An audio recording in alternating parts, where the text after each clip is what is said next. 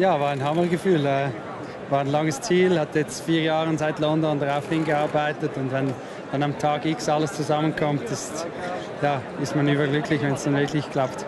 Ja, es sind äh, viele, viele Partner von uns äh, stellen hier aus und äh, ist eine ganz wichtige Messe für, für die ganze Fahrradindustrie und ich komme immer sehr gerne hierhin. It's just amazing, unbelievable. I came there to just uh, have a good race and uh, do my best, and yeah, I managed to win. It's just amazing.